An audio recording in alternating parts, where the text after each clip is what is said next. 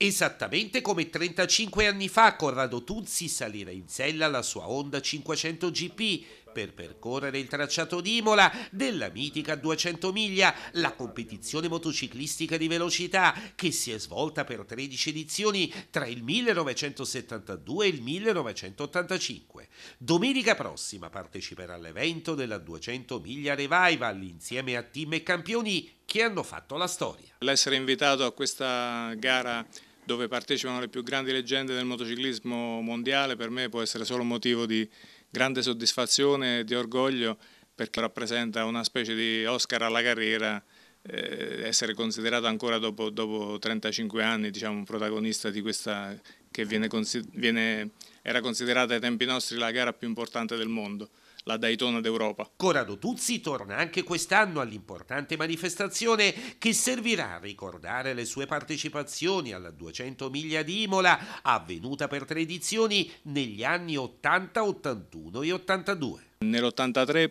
potevo farlo ma eh, a causa dell'incidente che avevo fatto alle mani ero fratturato e quindi non ho potuto prendere parte a quella che è stata un po' la, eh, l'edizione più triste per noi perché morì il mio compagno di squadra Guido Paci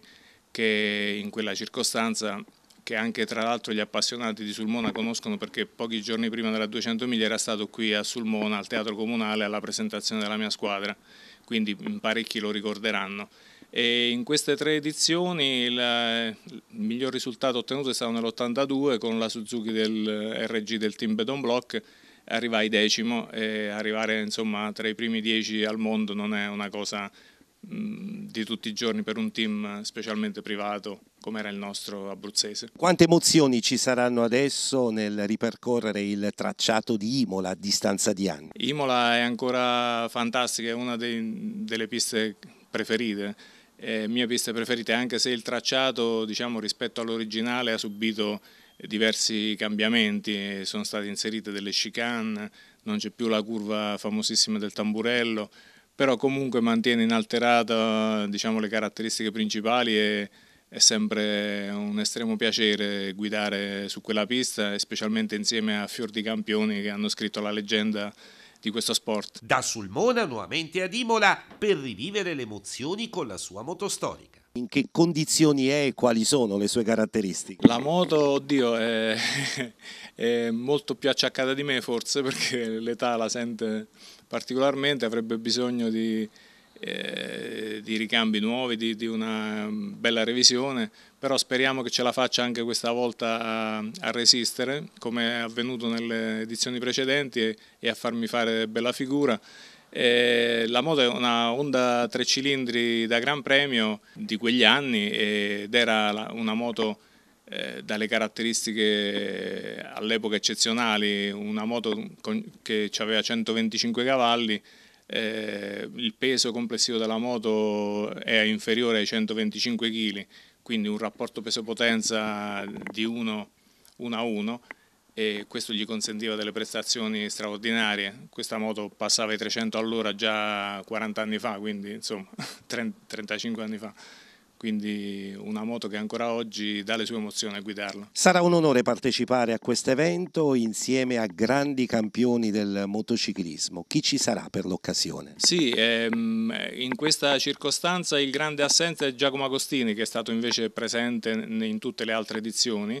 e, ehm, e Freddy Spencer l'americano che non ci sarà, però in compenso ci saranno eh, personaggi eh, che verranno da tutte le parti del mondo, pensiamo per esempio al Venezuela con eh, Johnny Cecotto e Carlos Lavado, eh, i campioni del mondo dell'epoca, dalla, dalla, Nuova Zelanda quest'anno arriverà Graham Crosby che era il eh, pilota ufficiale Suzuki dell'epoca e ci saranno anche eh, i nostri piloti italiani, diciamo i campioni europei Biliotti, Begheroni, eh, oddio i nomi di tutti non li ricordo ma eh, ci, sarà dal Sudafrica verrà Cork Ballington, eh, campione del mondo con la Kawasaki,